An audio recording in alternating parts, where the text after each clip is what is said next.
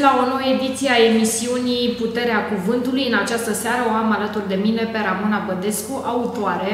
În alte ocazii v-ați întâlnit cu ea în calitate de purtător de cuvânt al Filarmonicii Oltenia, dar iată că de data aceasta a venit ca scriitoare, um, dar nu numai, um, ci a și dezvoltat niște ateliere de creație pentru copii. Vom afla mai multe de la ea. Bună seara, bine ai venit! Bună seara și bine te-am regăsit și bine i-am găsit pe telespectatorii voștri. Uh, este prima dată când uh, când ajungi la televiziune. Exact, la voi și uh, bineînțeles că sunt foarte bucuroasă și mulțumesc foarte mult pentru posibilitatea de a fi aici și de a vorbi despre lucrurile care îmi plac. Cu mult drag, pentru că de am și precizat că multă lume te știe de la televizor, din presă, ca fiind purtătoarea de cuvânt a filarmonicii Oltenia. Iată o funcție de altfel foarte importantă, uh, vorbești iată, tot despre artă până la urmă exact. Uh, și artă și faci în timpul tău liber. Lucruri pe care mulți nu le știau despre tine și vreau să încep cu aceste ateliere de dezvoltare a creativității. Da. Pentru că vor urma sau sunt în derulare, spune-ne. Atelierele de creativitate le aveam de foarte mult timp în uh, cap, pentru că Mie mi se pare foarte important lucrul acesta pentru copii, pentru educația lor, pentru dezvoltarea lor uh, uh, în orice meserie pe, pe care ar urma-o și la un moment dat lucrurile s-au întâmplat că am scris o carte de poezie, apoi o carte de povești pe care le-am publicat Uh, și am fost întrebată de ce nu faci ceva să încurajezi uh, Vom ajunge și la aceste cărți imediat pe care le da. puteți vedea pe masă, dar înainte vorbim despre dezvoltarea creativității, pentru că poate fi făcută în multe moduri. Exact. Și vreau să știu exact ce faci tu acolo cu copiii. Exact. Și după aceea, fiind invitată, am luat-o puțin în ordine cronologică, așa cum s-a întâmplat, am uh, gândit un modul de scriere creativă pentru copii. De ce nu? Pentru că ei sunt plini de idei, dar au nevoie de cineva care să-i uh, îndrume un pic și să le dea câteva uh, repere. Uh, cursul se cheamă Detectiv printre cuvinte, pentru că nu, de multe ori cuvintele, poveștile se ascund, se joacă așa puțin cu mintea noastră și am conceput această temă foarte generoasă și foarte interesantă pentru copii. Uh, așadar, detectiv printre cuvinte, evident că ei trec prin uh, etapele clasice ale scrierii unei povești, vorbim despre personaj, într-o întâlnire, cum se construiește el, că trebuie să-l cunoaștem, uh, pornesc de la ei, povestesc puțin despre ei, ce le place, ce nu le place și astfel se creează un personaj. Ei își dau seama că ei, ei sunt înșiși un personaj Ehm, apoi povestim cum se construiește narațiunea ca un munte, ehm, cum uh, descriem cadrul în așa fel încât să avem impresia că suntem acolo, să avem senzațiile că e frig, e cald, uh, este marea, este muntele, așa.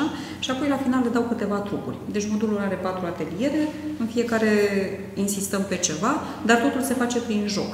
Deci fiecare modul are câte o temă. De data aceasta da. sunt detectivi printre cuvinte, iar tu înainte de emisiune mi-ai arătat Iată, ai pe masă niște obiecte de detectiv. Da, Știi că toți în copilărie visam să fim exact. detectivi. Da.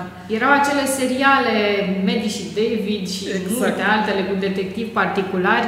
Cred și că cărțile, e copil și cărțile. Noi le citeam uh, atunci, uh, erau uh, mare vogă. În special acest personaj celebru Sherlock Holmes, care rămâne... Și au rămas, bineînțeles, au rămas în vogă detectivii? Copiii sunt în continuare îndrăgostiți de poveștile cu detectivi? De mistere, în general, de lucrurile care îi spăimântă puțin. Dacă ne gândim la scooby care este unul dintre cele mai iubite desene animate pentru copii, acolo se întâmplă mereu ceva și mereu este demascat un impostor și atunci ei sunt foarte atrași de lucrul acesta de a descoperi ceva misterios, de a găsi și ceva ce pe masă? Ce mistere ne, ne dezvălui în seara aceasta? Da, misterul... Sunt mai curioasă ca un copil, recunosc. Le-am mai adus și un uh, pix care este foarte interesant pentru că noi scriem pe o foaie pe spatele unui participant când le facem uh, live. De data aceasta nu putem pentru că această, acest modul uh, din vara aceasta l-am desfășurat pe Zoom, pentru că așa sunt vremurile, dar când ne întâlnim live, atunci scriem pe spatele unui copil și după aceea ei trebuie să descopere cu lanterna de la pixuleț uh, ce scrie pe, pe hârtie. Practic dacă este un stilou cu cerneală invizibilă. Exact. Ce visam noi în copilărie, dar iată că tehnica nu era atât de avansată sau nu știu, n-ajungeau la noi în țară astfel de obiecte. Uh, am înțeles că se poate face o soluție cu lămâie și cu apă și poți să-ți faci în casă așa ceva și după aceea să rămâi într-un bețișor între acela de urechi și poți să-ți creezi astfel de instrumente misterioase. Cred că în seara aceasta toți copiii care vor urmări cu părinții lor emisiunea vor încerca să facă trucuri și trucuri, iar părinții vor rămâne fără salată sau cine știe vor da vina pe tine, sunt convinsă că vor veni și la aceste ateliere. Apropo, cum se pot înscrie la atelierele tale? Unde te găsesc pe tine? Ei mă găsesc foarte ușor, uh, ori pe pagina mea de Facebook, uh, Ramona Bădescu Autor, sau pe site-ul meu. Acolo sunt prezentate toate detaliile despre ateliere. Și site-ul tău cum se numește? Ramona Bădescu Autor, tot așa. Exact așa se numește. Uh, acolo găsesc și detalii despre cărți și despre alte ateliere pe care le pregătesc, pentru că nu creativitatea este un domeniu foarte vast Asta vreau să te întreb. Vei avea ateliere de creativitate doar cu compunere, cu scris sau și de altfel, muzică, desen, Asta în general. Din păcate nu este domeniul meu, sunt o mare consumatoare, îmi place arta da, plastică. Nu știu dacă neapărat trebuie dar... să fii tu pricepută la desen, pentru că, iată, art terapia presupune manifestarea unor emoții, unor gânduri prin artă, fără a fi neapărat talentat la desen. Da, este adevărat. Uh, am folosit și eu acest lucru când am lucrat cu copiii. Uh, adică și... poți face mandale, de fapt tu știi mai bine ca mine. Și se pot desena și alte lucruri în funcție de inspirația pe care o au. De exemplu, muzica îți poate sugera ceva. Când asculti, să zicem, dau un exemplu, Vivaldi, uh, primăvara, poți să încerci să desenezi ceva spontan. Dacă schimbi și asculti altceva, să zicem muzică ușoară, o să vezi că o să desenezi altceva, se fac, se fac alte asocieri. Uh, ce spui tu se pliază foarte bine pe o idee uh, de a explora cele 8 tipuri de creativitate ale lui Gardner. Este vorba despre ideea că, de fapt, noi toți avem 8 uh, tipuri de inteligență, inclusiv cea vizuală, Uh, dar sunt dezvoltate diferit. Și atunci uh, noi putem să facem performanță, lucrăm foarte mult pe cele pe care deja le avem ca atu, uh, dar le putem ridica mai sus și pe celelalte. Și ce este interesant este că ne putem folosi de una ca să o dezvoltăm și pe cea care este mai de bază. Așa că am un astfel de proiect în gând în care să explorez și inteligența lingvistică și cea logică. Acestea, din fericire, la școală sunt foarte exploatate. Mai este partea aceea de inteligență personală, de inteligență socială, de comunicare. Inteligență emoțională. Exact, de inteligență motorie. De exemplu, sportivii au inteligență motorie. Uh, și copiilor nu prea li se explică acest lucru. Adică dacă nu te pricepi la matematică, ai impresia că ești mai puțin uh, pregătit, că ești mai puțin uh, dotat intelectual. Nu. Pentru Crezi că, că poți fi bun sunt... într-un domeniu dacă îți propui asta fără să ai neapărat un talent? Nu Sau cred, dar cred că poți să dezvolți. Da, adică pur și simplu nu e suficient să dorești la muzică, asta voiam să spun, degeaba îți dorești să fii cântăreț dacă ești afon. Exact. Adică este imposibil oricât de mult te-ai străduit, dar poate ești un bun matematician. De fapt, care sunt beneficiile principale ale acestor ateliere? Să-ți descoperi talentele, să te descoperi pe tine însuți sau care În primul fi? rând, uh, faptul că uh, li se dezvoltă foarte mult spontaneitate. Uh, pentru că la școală intrăm într-un șablon și, mă rog, compunerea clasică în care descriem, de exemplu, un peisaj, în gen, nu știu, o scriere de Sadoveanu și încheiem cu ce frumos a fost, da? Ei, eu încerc la atelierele acestea să ieșim să din aceste, aceste tipare. Da, practic. și să le dau curaj copiii cum povestesc, cum foarte să multe fie lucruri ei înșiși. drăguțe. Da. Ei, și când se așa... Să dau un exemplu de un da. lucru drăguț spus de un copil, ceva ce ai reținut tu din aceste ateliere? Ei spun foarte multe lucruri Uh, și sunt, uh, în primul rând, uh, ce îmi place la ei. De exemplu, am o temă președinte pentru o zi. Ce ai face dacă ai fi președinte pentru o zi?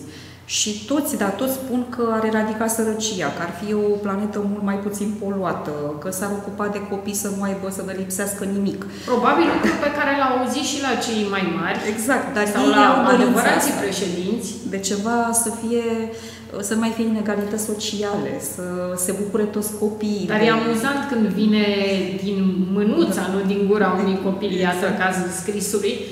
Dar Sau... tu ce ai face dacă ai fi președinte pentru o zi? Și de ce te întreb asta? Pentru că vreau să văd diferența între gândirea unui copil și gândirea unui adult. Dacă mai păstrăm acea inocență și acea speranță în mai bine. Da, păi cred că mi-am pus și o întrebare aceasta și m-am gândit că nu mi-ar plăcea deloc să fiu președinte pentru o zi. Ai avea prea multe responsabilități exact. și prea multe decizii de luat. Uh, da, dar uh, totuși dacă aș fi președinte pentru o zi, și mie mi-ar plăcea foarte mult să văd așa o lume în care chiar toți copiii se bucură de ceea ce ar trebui să aibă cu toții, să aibă să beneficieze de o educație frumoasă, de o familie frumoasă, de... Uh, da, cred că asta nu mai ține numai de președinte, ci de o întreagă societate, de noi. Bineînțeles, Noi evident toți. că oricum într-o zi nu poți să schimbi lumea, uh, dar iată că intri cumva în jocul copiilor și te întorci la ceea ce spun ei. Am mai avut o fetiță care la un moment dat mi-a zis că ea are 2000 de lucruri pe care le detestă. Imaginați-vă un copil de 8 ani care spune lucrul acesta 2000, și... în primul rând că știe să numere până la 2000. Sigur că a fost un fel de a spune așa mai uh, exagerat. Și i-am zis, uite, tu poți să scrii o ceva, o povestioară pe tema aceasta. Noi nu zicem compuneri, sunt povestioare. Și chiar a făcut acest lucru și a povestit cum ea mergea la bibliotecă și mama o bodogănea și la un moment dat a ajuns și ei nu plăcea să citească, dar a găsit o carte care se numea Numă citit. Și de aici a pornit uh, toată aventura, a început să-i placă o să citească. O negație, întreaga sau... poveste. Exact, și la final, finalul mi-a plăcut foarte mult și iată, așa am rezolvat unul din cele 2000 de lucruri pe care le detestam. Deci a fost un început bun și a fost foarte Și iată un final original, în sfârșit, da. că, cum spunea, a ieșit din acel șablon al compunerii clasice cu care Asta și noi am fost obișnuiți la școală. Da, și este bine să ieși din gândirea aceasta, să intri pe gândirea laterală, cum se Uite, mi-ai amintit de o da. perioadă pe care amândouă am prins-o a comentariilor literare, dacă ți amintești, care erau învățate pe de rost. Da. Și care, cred eu, e părerea mea și cred că nu e doar părerea mea, că din câte știu s-a renunțat între timp la ele, că erau foarte limitative și mm. cred că este un termen blând și frumos spus. Da, Cred că erau... limitau, îngrădeau atât de mult creativitatea, imaginația copiilor, Uh, cât și faptul că nu mai aveau timp efectiv să citească opera în sine, pentru că trebuia să învețe un comentariu lung și stovitor. Da, eu am fost un caz fericit, am avut o profesoară de română extraordinară, pe care o cheamă Irena Gavrilă și cu care eu țin legătura în continuare și trimit textele mele înainte de a ajunge la publicare. Uh, și ea ne-a învățat o chestiune foarte simplă. Citiți cărțile, să știți povestirea și apoi faceți doar analiza stilistică, încadrarea în curent, deci ne dădea doar câteva repere și noi după aceea îmbrăcam foarte frumos uh, povestirea și ne lăsa să spunem ceea ce simțim noi când citim acea carte. Adică, până la urmă, e foarte frumos să... Eu mă întreb așa, oare profesorii care corectau lucrările, nu ai noștri, uh, ci de la examene naționale, olimpiade și așa mai departe, citeau cu adevărat acel comentariu care era făcut de un alt profesor și nu știu, era Cred că se și recunoșteau atât de plictisitor, probabil că da, era atât de plictisitor și inutil, Uh, la Olimpiade se dădea comentariul la prima vedere. Asta pot să spun din proprie experiență și acolo nu aveai ce să înveți pe din afară pentru că era un text uh, pe care nu l aveai niciun manual. Mi-aduc și eu aminte de Olimpiade, nu știu. Sper că între timp lucrurile s-au schimbat în sistemul de învățământ, dar revenim la atelierele tale. S-au schimbat prea mult. O să te dezamăgesc. voi întreba dacă o să mai avem timp, dar hai să discutăm despre ce este important. Consider că principalul beneficiu e dezvoltarea creativității, că despre asta este vorba. Da, să iasă din da. gândirea standardizată, da. să aibă încredere în ei. Asta încerc tot timpul să răspund. Toate ideile sunt bune, nu există o idee proastă. Doar contează Trebuie foarte să știi cum să o învelești, să o pui să în valori. Da, exact. Și atunci, sigur că unele idei sunt mai ofertante și altele mai puțin ofertante pentru tine în acel moment. Adică eu pot să iau povestea Pixului, de exemplu, da? Și vreau să scriu o poveste despre un pix, da? care era năzdrăvan și care, iată, scria și nimeni nu vedea, poți să faci ceva foarte amuzant din asta, da? Sau în alt, în alt moment al zilei mă gândesc la altceva, cu o floare, nu știu ce făcea și mă inspiră mai mult. Asta este esențial. Să scrii ceva care te inspiră în acel moment. Dacă nu te inspiră, îl lași deoparte, dacă ți se pare bună ideea, că de asta trebuie să ai un carnețel, îi le spun tot timpul, aveți un carnețel cu voi, ei încă sunt mici. Cei care lucrez, care am lucrat acum aveau 90 ani și încă n-au smartphone-uri să... Care e limita de vârstă? De la ce vârstă se pot înscrie copiii?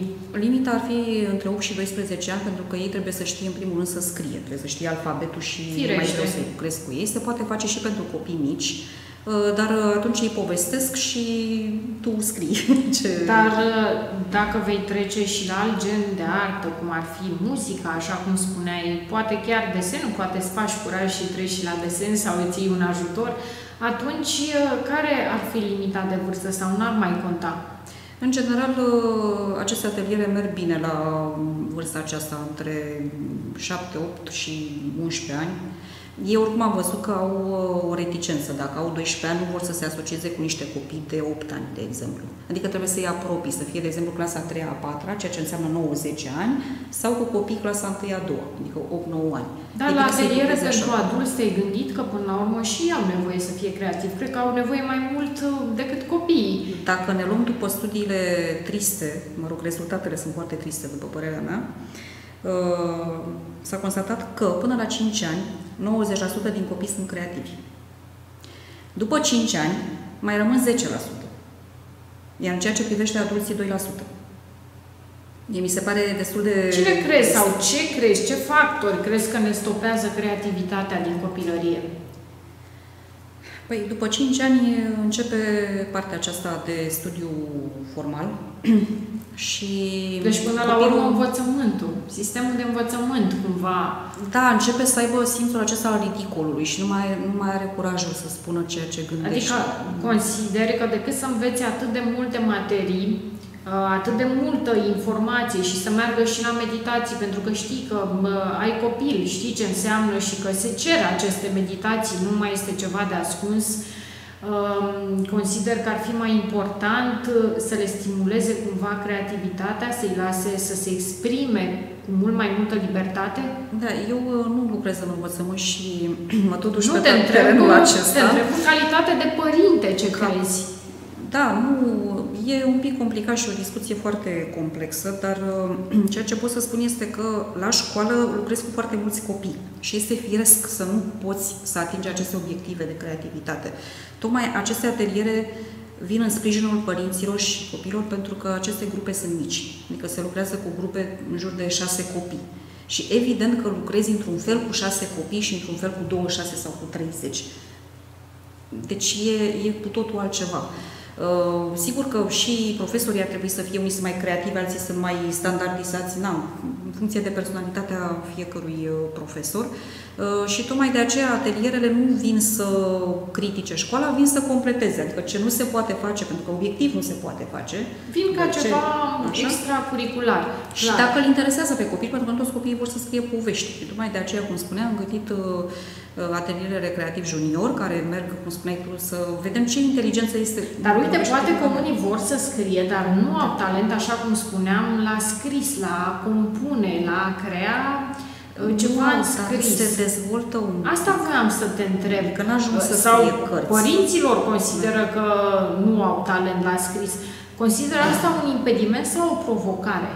Faptul este că acel copil, de ce o provocare? Da, pentru că fiecare copil poate să se autodepășească. Eu nu-i compar poate să-și găsească un stil. Exact. Firește că nu toți vor ajunge scriitori, dar cred că mai mult este vorba la aceste ateliere de dezvoltare a creativității, de creșterea încrederii în ei înșiși, și uh, de dezvoltarea creativității pe toate planurile, nu doar artistic.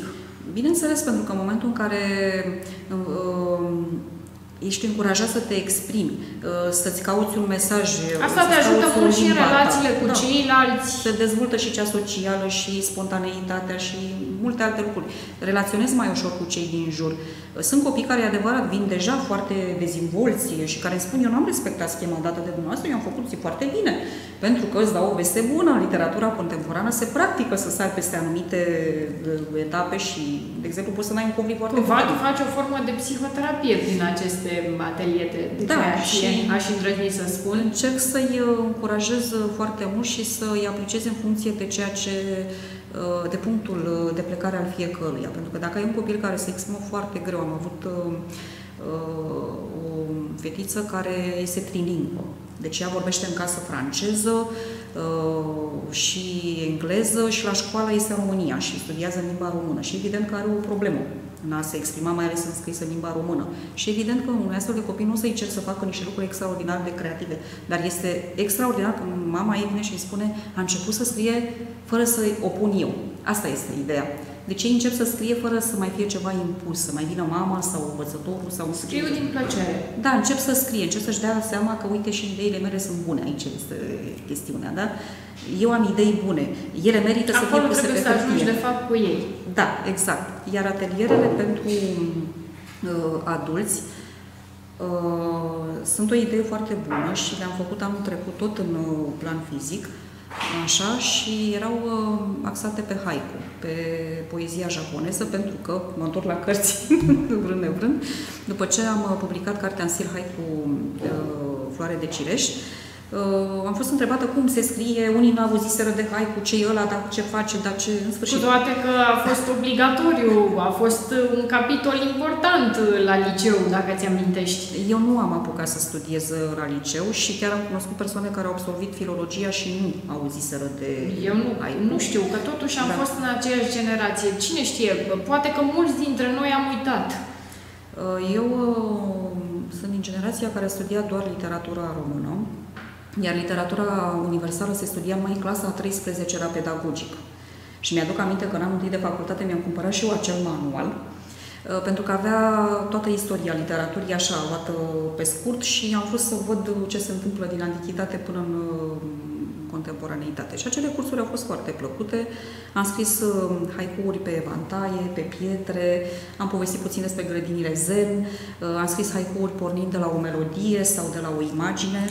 Acum că tot uh, ai amintit de haiku, pentru că uh, voiam să te întreb și despre această carte de poezia ta, poți să ne citești una dintre ele, având în vedere da. că toate sunt foarte scurte, că despre exact. asta este vorba. Este vorba despre faptul că noi trăim uh, tot timpul așa, sub presiunea asta, trebuie să ajung undeva, trebuie să fac nu știu ce. Și atunci, mie mi se pare că această poezie este ideală, și de a și, și de a fi lăsată ca mesaj persoanei iubite, spre da, exemplu. și sunt persoane chiar uh, care încep să scrie uh, pur și simplu ca autoterapie, cum spuneai. Adică, de exemplu, în Japonia sunt foarte mulți oameni care scriu nu ca să publice. În special persoanele care nu reușesc să-și exprime da. cu ușurință emoțiile în fața altora. Și chiar există în metoda Ikigai, tot la japonezi, Uh, o chestiune foarte interesantă. Să încerci să scrii un haiku timp, câte unul pe zi, timp de o lună, apoi să citești și să vezi ce, ce teme revin. Ei, aceste teme care revin trebuie să te pună pe gânduri, ori sunt lucruri care... Trebuie să le rezolvi, o, probabil. Da. Sau sunt lucruri care îți plac foarte mult și trebuie să le continui. Eu am făcut experimentul astă vară și mereu apărea arșiță Arșiță. Arșiță. A fost o vară caniculară. Asta, da, eu iubesc vara. Aș fi fost în contradicție cu tine total. Da, dar nu era ceva neapărat negativ. Dar apărea foarte des ideea aceasta, că era cald, că era nu știu ce, că florile se... Dar totodată e foarte bine că doar arșița te măcina, da, da, era eu. foarte bine. Acum să auzim um, o să citesc... Una din scurtele poezii. Da, o să aleg una um, care aș vrea să fie chiar haiku, pentru că nu toate sunt. Am spus că este o carte cu versuri în stil. De ce? Pentru că um, practic această carte este o punte de legătură între cultura orientală și cultura noastră occidentală, care este obișnuită cu mult mai multe ornamente în uh, poezie uh, și cu un alt fel de a privi lucrurile. Uh, am avut discuții cu persoane care spuneau că noi nu putem să scriem haiku pentru că noi nu putem să simțim ca japonezii. Evident că noi nu putem să simțim ca japonezii și nu vom scrie un haiku precum un japonez. Da, e vorba de educație diferită, dar, cultură diferită. Dar, practic, aici este vorba doar despre aceste trei versuri. Că, de fapt, asta este esența haikuului. Sunt trei versuri, fără rimă, și forma fixă trebuie să aibă 17 silabe. Adică 5 silabe primul vers, 7 silabe al doilea vers și nou 5 silabe ultimul vers. Între timp, regulile s-au relaxat, fericirea mea, pentru că eu întotdeauna am scris versal și am scris liber, așa, și atunci poți să scrii fără să respecti această, fără să contabilizezi numărul de silabe. Da, uite, am să spun așa. Vine tiptil april, deschide ferestre de flori în pomi. Practic e un slash, așa, e o, nu știu, ca și cum te uiți pe geam. Da, să știi că prin fața mea acum au trecut o mulțime de imagini, iată, în cele trei versuri, Tocmai câtă emoție este. poate să încapă. Da, e, sunt acele esențe tari păstrate în sticluțe mici despre care se tot uh, vorbește. Mai sunt unele care sunt un fel de meditație. Fiecare cuvânt e un capăt al lumii insomniace intrăm într-o zonă puțin mai abstractă. Și cred că, uh, da, asta voiam să zic, uh, cei care doresc să le citească, bănuiesc că pot să le comande de undeva, pentru că sunt versuri asupra cărora trebuie să revii. Da, categoric. Adică... Trebuie să stai, să le digeri, să le simți, să revii asupra lor, așa cum spuneam, ca în cazul oricărei poezii, de fapt. Poezia nu e așa ceva. Am citit articolul, am aflat știrea și trec mai departe. Și am înțeles tot. și în cazul unui roman, nu? Revii, te gândești, uh, dar totuși personajul acela... Poate că nu ești așa. atent în clipa da. respectivă și revii asupra paginii peste care ai trecut. Acesta este avantajul uh, cărții și al uh, tabloului. Poți să revii, să te uiți la el, să în cartea să o răsfoiești, față de artele care sunt performative, care se întâmplă doar atunci, cum sunt uh, concertele de, de la filarmonică sau spectacolele de teatru, ele intră la artă efemeră și acolo totul se termină când s-a lăsat uh, cortina sau au ieșit artiștii de pe scenă. Cum au primit uh, atât adulții cât și copiii aceste ateliere? Cât de greu ți-a fost să lucrezi cu copiii și cât de greu sau ușor ți-a fost să lucrezi cu adulții? Care au fost diferențele între cele două grupuri? În primul rând că adulții vin uh, așa mai chitiți să le dai informație, sunt mult mai uh, raționali, uh, în schimb, ei vin și cu foarte multe informații. Adică am avut cursanți care ei veneau și îmi spuneau diverse lucruri pentru că fusese în Japonia, unii dintre ei, eu n-am fost. și era foarte interesant pentru că era practic un grup în care se schimbau și tot felul de impresii și de uh, experiențe pe care le avuseseră apropo de cultura asiatică. Uh, am mai avut un cursant, uh, un bărbat care mi-a zis că el n-a mai colorat de mult, pentru că la primul atelier am făcut un semn de carte cu floare de cireș și am scris un haiku pe el. Uh, și s-a părut așa o chestie copilărească și în același timp uh, care te încarcă de energie. Uh, la copii uh, trebuie să fie totul distractiv. Deci în ultimul timp, chiar și părinții nu pun accent pe partea educativă. la aceste reacții negative ale oamenilor? Reacția negativă, în general, nu prea există, adică aia a fost o Păi iată, spre exemplu, bună. da, e prea copilăresc să desenezi o floare de cireș. Nu a spus, a spus că îi se pare foarte amuzant că nu mai făcuse de mult lucrul acesta. Sau era ceva făcut. pozitiv, din da. contră, iată, eu am perceput-o ca pe ceva da. negativ. Dar dacă se întâmplă pozitiv. și ești într-o da. situație de genul ca un om să refuze ceva, da, să-i se pară, spre exemplu, infantil. Evident, nu nu obligă nimeni, poate să construiască ceva mai complex dacă dorește uh, și chiar au fost cazuri cu oameni care au venit și au început să spună haiku după haiku. Noi tocmai învățam să scriem, dar persoana respectivă a venit să ne arate că ea știa foarte multe și deja venise doar și ca să... cumva poate a fost și obositoare totodată. Da, pentru că noi încercam să facem la ultima uh, întâlnire un haiku în lanț, se cheamă. Adică fiecare scria câte un rând, câte un grup. Și avea legătură un da. haiku cu altul. Da, adică era ca, o, ca un dialog. Adică eu spuneam uh, trei versuri, completai pe aceeași idee și tot așa. Și apoi uh, am notat această, acest poem și a rămas poemul grupului. Adică normal că atunci când cineva venea și spunea el șapte haiku și ceilalți nu spuneau nimic, s-a stricat un pic jocul, dar am reușit să depășim momentul. Să echilibrați cumva. Da, evident, adică nu există cel care vine la curs, clar că vrea totuși să participe și să facă un schimb benefic de informații. Nu vine nimeni ca să strice atmosfera, să zicem, nu mi s-a întâmplat. Uh, iar copiii am spus, ei vor să se distreze, deci trebuie să fie totul pe, axat pe uh, activități scurte, amuzante. Sau pe ceva, exact. iată cum sunt aceste obiecte care să-i facă să fie curioși. Evident, și chiar sunt curioși, chiar uh, vin și spun că au citit și ei, copiii mai mari povestesc despre Harry Potter, de exemplu, care așa, după aceea cei mici care vin nu știu, încep și să întrebe, dar ce e, dar cum e? Fiul meu a auzit și și a vrut să citească Harry Potter deși el este mic, are doar 8 ani și nu este chiar pentru vârsta lui. Dar uh, noroc că Moș Crăciun a venit la mine anul trecut și mi-a adus uh, uh, acea ediție foarte frumoasă, ilustrată de Jim Kay, care este absolut superbă și am zis, uite că Moș Crăciun s-a gândit de fapt la amândoi. Așa că a început și el încet încet să răscoiască, să uite pe imagini și intră în atmosferă. Și gata, este participant la atelierele tale? El este asistentul meu. Deci care are un rol foarte important, cred că este invidiat de toți ceilalți copii. Da. spune tu discuți cu părinții copiilor ce se întâmplă la aceste ateliere? Cred că unii părinți, adică, adică cu sunt siguranță stau acolo, cum am stat și noi părinții când au fost uh, orele pe Zoom, da, la școală. Uh, Uh, dar sunt și părinți care nu se manifestă, sunt foarte discreți și nu... Și, și cum e mai bine să fie? Sau nu există mai bine sau mai rău? Fiecare nu, are felul său de a fi. Evident, adică sunt copii care chiar au nevoie de asistență, cum era acea fetiță care nu vorbea foarte bine românește și mama stătea și la un moment dat le-am auzit că vorbeau franceză. Traducea. Pentru că era limba ei nativă sau mai, am mai avut o fetiță din Luxemburg care vorbește în mod curent germană, evident, fiind acolo.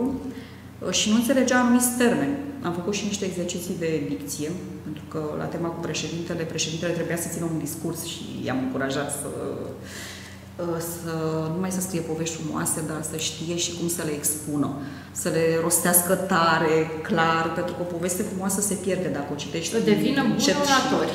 Exact, da. Și am avut, uh, nu știu, un exercițiu cu un șoarece, șoricel, nu știu cum, care a șutit un biscuit și am fost întrebată ce înseamnă a șuti. Pentru că uneori mai sunt și expresii dintre acestea familiare care sunt foarte importante într-o poveste dacă un personaj face parte dintr-o anumită clasă socială. Uh, și noi povestim lucrurile acestea că nu poți să pui un uh, om, să zicem, care lucrează undeva, e pădurar, să vorbească precum un profesor academician. Nu, nu se potrivește, adică e un alt limbaj. Și am Uite, e un termen pe care nici eu nu l-am mai auzit de multă vreme. Îți mulțumesc, înseamnă așteptăria fura. Da, da, exact. Sunt foarte colorate. Chiar uh, am o cunoștință care e așa la vânătoare de cuvinte dintre acestea care sunt mai, au o rezonanță mai deosebită. Uh, și există și o carte pe tema asta, cuvinte dispărute. Adică ele n-au dispărut, dar sunt pe care de dispariție, cum ar fi tihnă, uh, cum ar fi făgăduință, la noi, în Oltenia, da. cred că se mai folosește încă această expresie ți-a tihnit. Da, da, da, Iată, dar că la noi că, puțin, da. Dar e o idee foarte bună și poate că vei face ateliere pentru adulți de data aceasta cu termeni pe cale de dispariție. Da, bineînțeles. De ce nu? Un muzeu al termenilor. da, păi, dacă am făcut muzeul nasturilor, am făcut o poveste pornind de la niște nasturi, chiar am avut niște nasturi vechi, de la bunicul meu care era croitor și am pus acolo într-o cutie și ales fiecare un nasture și și-a imaginat uh, pe ce haină a stat, cum al era cui, a, cui a fost haina, probabil, exact. și în ce moment al vieții. Și ce a avut special de a ajuns la Muzeul Nasturilor. Adică toate aceste Iată exerciții... ce idee frumoasă. Da, sunt o grămadă de exerciții care se pot face chiar și la școală, adică nu, nu te împiedică nimeni Uite, dacă ar fi, de exemplu, să faci o poveste, nu știu, despre această masă, acest microfon, cum ai începe? Așa, Dacă vrei să le spui, bineînțeles. Uh, așa. Uh, Oana tocmai a intrat uh, foarte furioasă în studio și deodată a văzut că microfonul clipocea. Bineînțeles că el încerca să-i transmită un mesaj, dar Oana se uita și nu înțelegea ce vrea să-i spună. Evident, conexiunea la internet era destul de precară și atunci i-a sărit în ajutor un mic extraterestru care tocmai își făcea veacul pe acolo. Și pot să continui povestea. Uite ce mi-a plăcut foarte mult că ai introdus și extraterestru. Nu prea înțeleg ce era cu mine furioasă, dar discutăm după emisiune. Da. nu mă gândeam da. Este foarte amuzant, iată. Cineva. Și da. mă bucur că ai răspuns provocării, pentru că, iată, poți face povești din orice. Asta voiam să demonstrez și poți aduce personaje la care nu m-aș fi gândit niciodată la un extraterestru aici în studio. Sunt bineveniți și extraterestri, de ce nu? poate sunt și nu știm. Sau poate nu-i vedem, sunt uh, Corect. îmbrăcați în cerneala aceasta incoloră aceasta pe care ai adus-o tu aici în studio. Ce ți-ai dori să vezi mai mult în interacțiunea dintre părinți și copii? Pentru că și tu, la rândul tău, ești mamă. Da, mi-ar plăcea, într-adevăr, să fie mai uh, aproape de ei. De exemplu, aceste ateliere, mi-ar plăcea să am uh, un feedback uh, de la toți părinții, pentru că nu, nu toți se manifestă, adică nici nu știi, da, copilul i-a plăcut, dar este foarte interesant cum percepe părintele ceea ce se întâmplă la curs, ce-și dorește el, pentru că ce-și dorește copilul e diferit de ceea ce-și dorește părintele. Și mai ales pe partea asta de rezultate, până la urmă, nu? Pentru că sigur, devine poate mai creativ, mai spontan, mai nu știu ce, dar la final va fi o poveste care îi place sau nu îi place, poate părintelui nu îi place stilul acela, îi se pare mult prea nonconformist uh, sau vrea ceva și mai uh, creativ. Cum reușești să împaci părinții în momentul în care nu le place, eu știu, poate consideră inutile aceste, ți s-a întâmplat să ai reproșuri? Uh, nu mi s-a întâmplat. Ei, în general... Sau să aibă așteptări prea mari în ceea ce privește talentul copiilor lor? Uh, lucrurile acestea se discută, bineînțeles, cu fiecare copil în parte și părintele, dacă vrea să... Bănuiesc că din moment ce i-au înscris la aceste ateliere, asta vor, să dezvolte să creativitatea, da. să aibă o continuitate Dar, înscris. în general, dacă am o discuție cu ei, eu înțeleg ce se întâmplă, pentru că, într-adevăr, uneori așteptările sunt prea înalte, adică au pretenții foarte mari. Sunt până copii. la urmă copii, copii da. mici. Da, și un copil, adică, cum să zic, sigur, noi avem uh, reperele acestea, tot felul de autori, de cărți, sunt consacrați, evident că scriu într-un fel. Și am pățit chestia asta cu copilul meu care îmi spune eu nu mai scriu nicio poveste pentru că eu nu pot să scriu ca tine. Normal zic că nu pot să scrii ca mine pentru că eu am o vârstă și tu ai altă vârstă. Eu până să scriu această carte am scris nu știu câte povești pe care le-am aruncat pentru că nu erau bune. Sau poate erau bune, dar n-am știut să le fac eu să fie mai bune. Deci este firesc să-l iei de acolo de unde este el copilul. Și de fapt aici contează foarte mult să-i dai posibilitatea să-și exprime ideile și să, să fie autentic, cum spuneai și tu. Asta este important. Și să vină cu lucruri cât mai uh, diferite și cât mai curajoase și cât mai sincere. Care crezi că ar trebui să fie raportul dintre tehnologie? Pentru că, iată, trăim într-o eră în care e aproape imposibil să separi copilul de tehnologie și, spre exemplu, sistemul clasic. Trebuie să fie echilibrate până la un Interacțiunile vârstă. sociale. Uh, deci, până la o vârstă, părerea mea este că ar trebui limitată foarte mult tehnologia, pentru că nu apucă să-și dezvolte, de fapt, căile clasice de a comunica. Adică el încă nu și-a format bine mâna, da? legătura spre creier pentru a scrie frumos așa și tu și el deja stă trei ore, nu știu, dau un exemplu, pe zi la calculator și tastează. Crezi că stând la calculator în fața tabletei mm-hmm. sau a telefonului, nu mai vrea să citească o carte, nu mai, nu vrea, mai vrea să încerce să acolo scrie. vine totul de gata. Deci tehnologia îți oferă totul, vine pe tavă și Dar totodată sunt și cărți virtuale, poate cumva ar putea fi îmbinate aceste lucruri, astfel încât să-i atragem pe copii. Da, numai că o carte virtuală, eu nu, părerea mea personală, nu o recomand la vârste mici. Adică, cartea virtuală intervine mai târziu, nu știu, zic la gimnaziu. Poate sunt puțin exigentă. Dar nu o recomand până în clasa 4, cartea virtuală, decât în anumite situații. Nu știu dacă ești exigentă, da. pentru că asta ne recomandă și psihologii. Psihologii spun clar că până la 12 ani ar trebui, dar nu știu cine ascultă. Este da, cred că e aproape imposibil. Dar poți să limitezi. Noastre, că până la urmă se poate să alegi așa cum foarte mulți au ales, nu știu, să trăiască la țară, în natură, dar nu toată lumea are această posibilitate, nu toată lumea poate lucra de acasă, nu toată lumea poate să facă homeschooling și nici nu știu dacă e indicat sunt copilul din... Da, adică în fine, important este să acestea sunt teme pe care da. le putem aborda în altă emisiune. Revenind la aceste ateliere, cât de greu este să abordezi un copil dificil? Uh, nu știu. Sau nu știu, am avut probleme de copii așa comportament. dificili. Nu ai avut. Uh, Cel de comportament cred că e foarte uh, dificil de gestionat pentru că poate să dezechilibreze tot ce se întâmplă acolo în grup. Ce pot să spun pentru mine personal este destul de interesantă comunicarea aceasta online.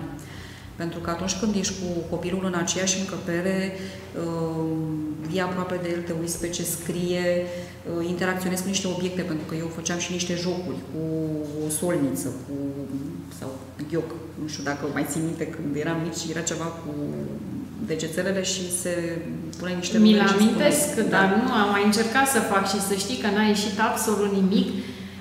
Și este atât de Eu- simplu pentru că nu se mai face origami. Deci acum se face ori la un nivel foarte înalt și numai în anumite medii, dar noi la grădiniță tot știam să facem coicul, știam să facem paharul de hârtie, știam să facem avionul, știam să facem uh, broscuța, deci aveam câteva pe care toată lumea le știa. inclusiv Vei această face și solniță. asta cu copiii?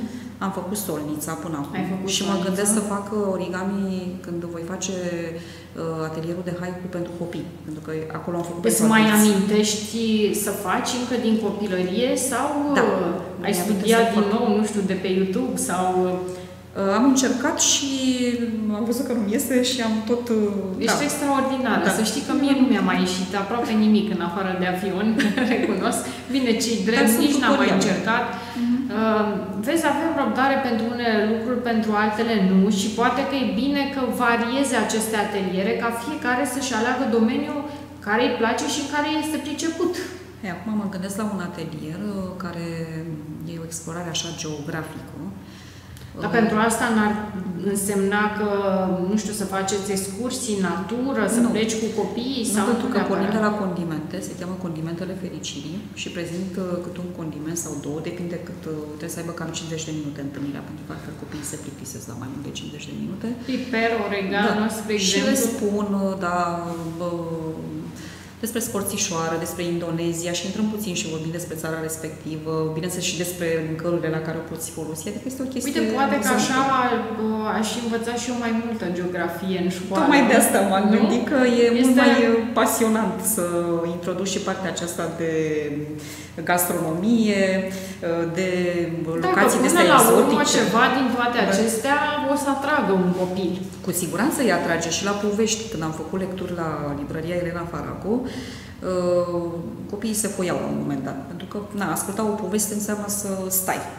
Și pentru că se plictiseau și eu citeam țări de pe glob sau povești de pe glob, deci erau povești din diverse țări, am luat un glob pământesc și i-am invitat să caute unde este țara din care vine povestea, după aia ne-am învârtit în jurul globului și ne-am imaginat, adică am încercat să fac ceva de mișcare, pentru că altfel era foarte greu să stea Altfel 15 minute de îi, mișcare. îi pierzi, cel puțin dacă unul din ei nu mai este atent, îi distrage atenția și celuilalt și E iată contagios. întreaga grupă.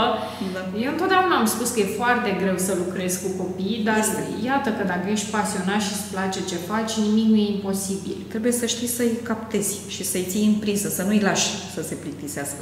Acum aș vrea să vorbim și despre această carte minunată pe care, iată, eu o am aici, am primit-o, îți mulțumesc tare mult. Mare, mare Ramona. Drag. A fost așa o surpriză frumoasă, frumoasă la propriu, pentru că, iată, și ce ilustrații frumoase are, Povești Săltărețe se numește, și este prima ta carte pentru copii și nu numai. Și de ce zic nu numai? Pentru că uh, cred că și noi, în sufletele noastre cel puțin, am rămas copii și că ar trebui să citim povești. Da, este, continuare. Povestea este terapeutică. Exact. Este zona în care ne păstrează Este zona inocenței, zona visării. A uh, simbolurilor, a uh, tot felul de peripeții și mm, te ajută să-ți învingi niște frici, pentru că toate trăirile astea în plan simbolic uh, te fac să-ți dea curaj în tine, că vei ajunge, că vei câștiga, că vei învinge. Poveștile mele sunt niște povești moderne, într-adevăr, ele nu au uh, personaje negative sau monstruoase sau niște conflicte din acestea uh, mai tenebroase, dar uh, uh, pur și simplu ele aduc veselie. Asta Ce este temă ideea. ai abordat? Am Că aportat din păcate teme nu le diferite. putem citi astăzi Evident. pe toate. Nu, nici nu este... Spuneai că n-are, acele, n-are moști, n-are personaje negative, Și le poți cartea citi ta. seara liniștit copilului pentru că nu va visa urât, cu siguranță va visa Deși frumos. spre asta se tinde și în desenele animate Da, și în spre cărțile grotesc. pentru copii. Da, și această carte e un manifest de Da, fapt să pentru știi frumos, că, pentru da, frumusețe și cumva pentru... și noi eram atrași de babacloanța, de baubau, aceste personaje negative, Îți dădea nu? niște senzații, evident. Vrăjitoarele din povești iar ne atrăgeau. Numai că în ziua de azi cred că avem atâtea chestiuni între Tu acestea. ai încercat să te rupi din terifiante. acest tipar, să înțeleg. Da, da. Și să Este aduci un curent. frumosul în viața oamenilor, că de ce zic oameni și nu numai copii, pentru că și mie îmi plac poveștile foarte mult și sunt convinsă că așa cum mie îmi plac, sunt foarte mulți alți adulți care cel puțin le citesc copiilor și tot uh, rămân cu ceva frumos în suflet.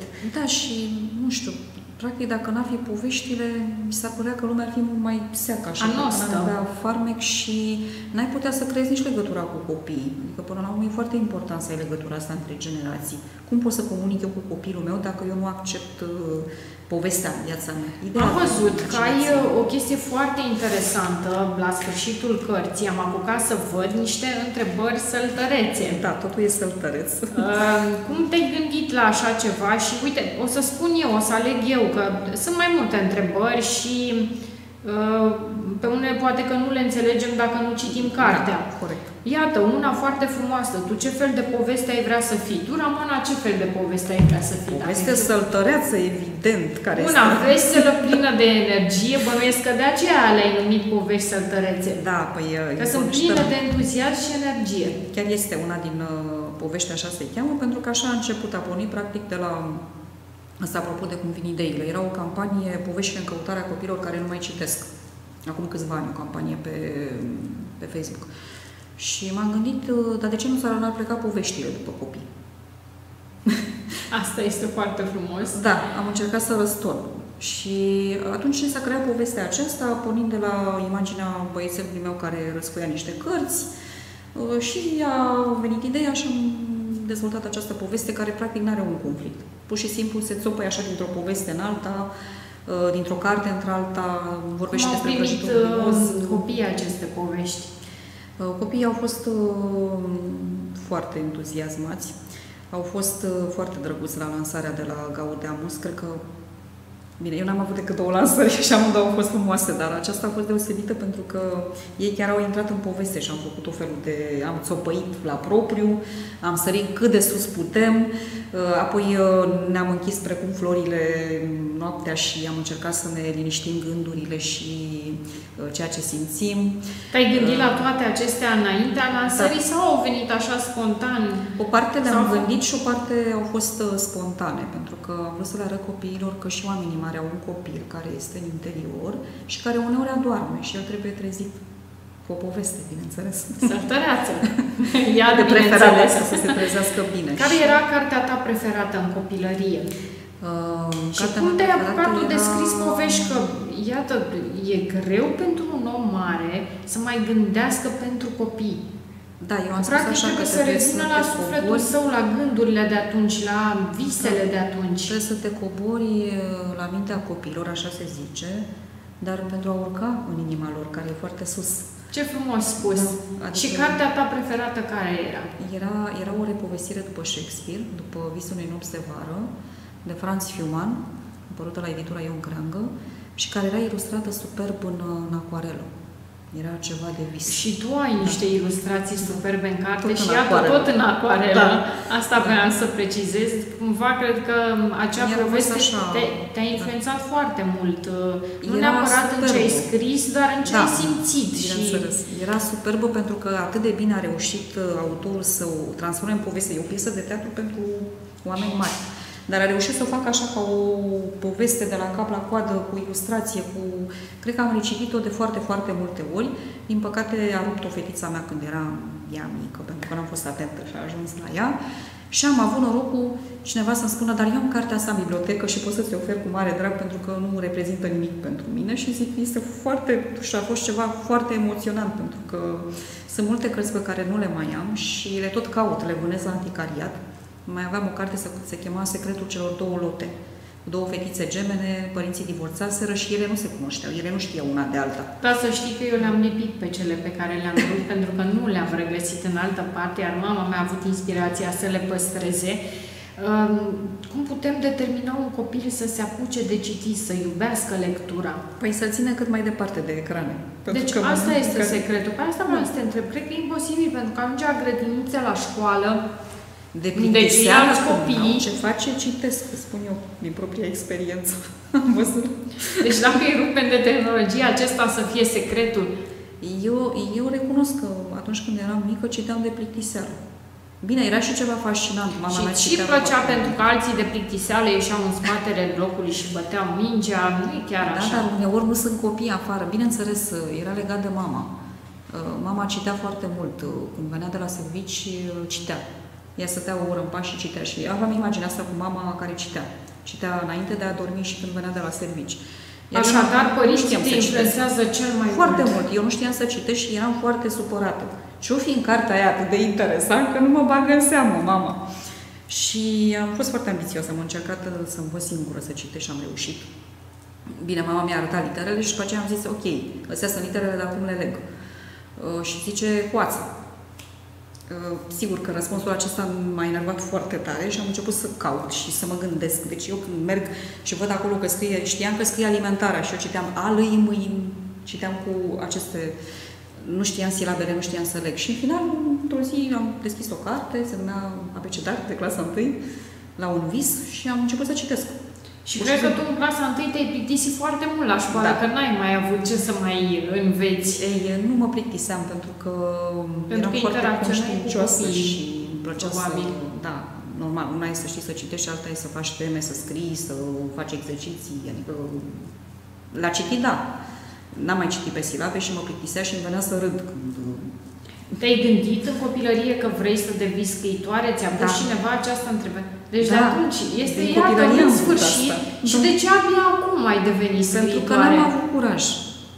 Pentru că se scrie foarte Probabil mult. Probabil ai avut nici susținere, nu știu ce da, trebuie. De unde pornește acest curaj? Uh, cred că, nu știu, la mine a pornit de la, uh, de la prieteni de la faptul că mă tot întrebau de ce nu scrii, de ce nu scrii. Zic, pentru că se scrie foarte mult și nu mai are rost și... Și crezi că nu aveai loc pe piață sau cum Mi se părea că sunt destule cărți care stau și zac săracele prăfuite prin librării și muzica este maculatura, este dar până la urmă nu contează lucrul acesta, contează că tu ai un mesaj și dacă chiar vrei să ajungă, nu contează. La 100 de oameni sau la 1000 sau la 50, mie mi se pare minunat dacă ajunge, pentru că până la urmă nu e un business cartea cartea aceasta. Adică nu poți trăi în niciun caz în ziua de astăzi din... Poți să trăiești, dar din cărți comerciale. Adică dacă se caută cărți, nu știu, de dragoste sau despre nu știu ce mistere gen... Sau dezvoltare personală, sau... că este la mod Bine, acum. Da, nu vorbim de cărțile de, mai de specialitate, dar acestea care intră la partea asta beletristică, poezie, care... În fine. Eu am fost fan Nikita Stănescu și am zis, ok, dacă Nikita Stănescu a existat, eu nu pot să scriu poezie. Și am zis, da, dar totuși eu scriu, adică nu pot să-mi pun o frână. Și atunci, na, dacă am fost încurajată... Și scrii diferit până la urmă. Evident că... Deși, de dacă stăm și ne uităm, fiecare dintre, absolut toți, avem uh, uh, în domeniile noastre câte o influență.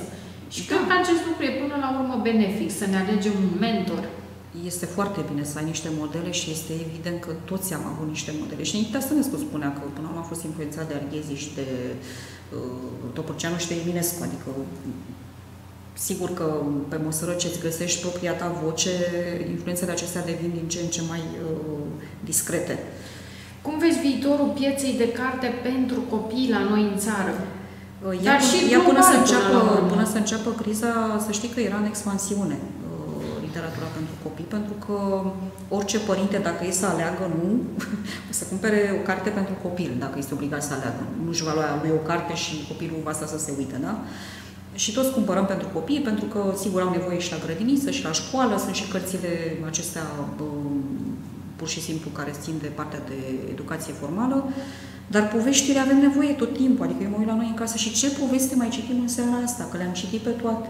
Și zic, nicio problemă că mama deschide laptopul și facem o nouă comandă. Sau facem o nouă poveste, iată.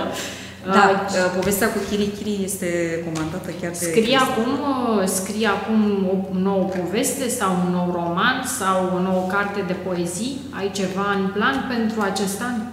Da, aveam în plan, dar uh, ca mulți alții și la mine s-au dat peste cap planurile. Mai am o carte de haiku, de data asta nu mai e în stil, adică am vrut să mă maturizez pe linia aceasta, să trec mai departe. Uh, poezia haiku de obicei este însoțită de traducerea în două limbi internaționale.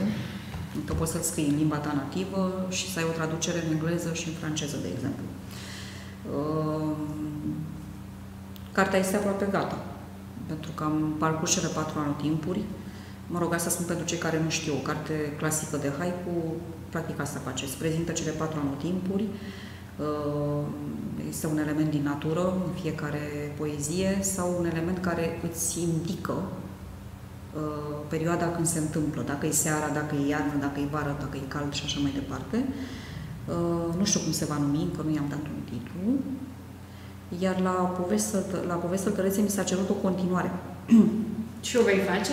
O voi face, dar uh, din păcate eu am alte idee de titlu, o să văd dacă o să fac o continuare. Deci nu va fi povești săltărețe 2. Va fi ceva cu turcoaz. Atâta spun. Pentru că vreau să rămână o surpriză. Și probabil, da, până, până când vei face lansarea, mă voi gândi la un nord, nord turcoaz, o fustă turcoaz, Te lasă pentru te că gândești. e vorba de zâne săltărețe aici. Da, este, sunt alte povești, alte teme. Am scris de curând și o poveste mi s-a dat așa o idee să scriu o poveste de sezon uh, uh, Covidel și măscuța în plină pandemie. Încă nu am feedback-ul uh, celui care mi-a care ți-a insuflat. Care e capul, capul răutăților, dar încă nu a apucat să se uite pe ea și sunt foarte curioasă că deja am două feedback-uri foarte bune, inclusiv de la, din casă. Mi s-a spus, e, nu, acest, nu știu cum mi-a spus eu, nu, este, o, este un subiect de care nu mai vrem să auzim, că auzim toată ziua la radio și la televizor. și zic, da, dar aici este cu totul altceva, pentru că personajul acesta, o să vezi, nu este ca în realitate, este un pic așa schimbat. Și eu sunt foarte curioasă și cred că asta vom auzi în alte emisiune, pentru că iată, aș mai sta la povești cu tine mai ales la cele săltărețe, dar rămânem noi două la povești, iar telespectatorilor le spunem o seară frumoasă, dar le promit că voi reveni aici cu tine cu noutățile în materie de ateliere de creativitate pentru copii, pentru adulți, iată, cu lansările tare de carte și cu toate, cu toate da. lucrurile frumoase pe care le aduci în viețile noastre. Îți mulțumesc, Ramona! Mulțumesc foarte mult! O seară cât mai plăcută tuturor!